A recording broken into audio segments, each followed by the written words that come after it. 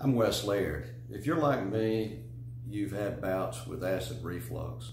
Some of you may have even had GERD. Uh, and you've probably taken everything that you can think of uh, to get rid of it.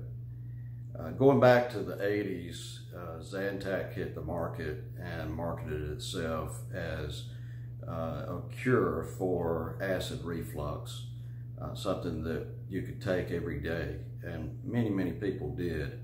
They either took Zantac or they took the generic Zantac, ranitidine, or both over the years.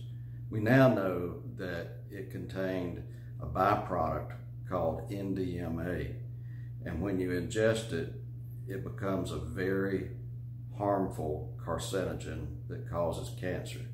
In fact, the only thing that NDMA is used for today commercially is to cause cancer in laboratory animals. So if you've got cancer, you very well could have a claim if you took Zantac.